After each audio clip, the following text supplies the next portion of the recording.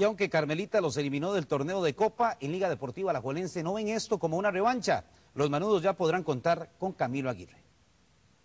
El técnico Oscar Ramírez asegura tener listo su once estelar para iniciar el torneo de invierno.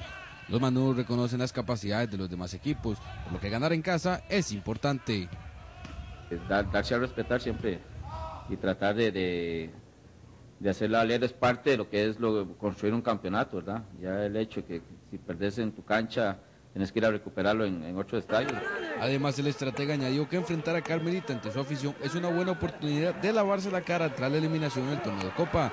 No desmerita el trabajo que realiza el cuadro que dirige Guillermo Fariña.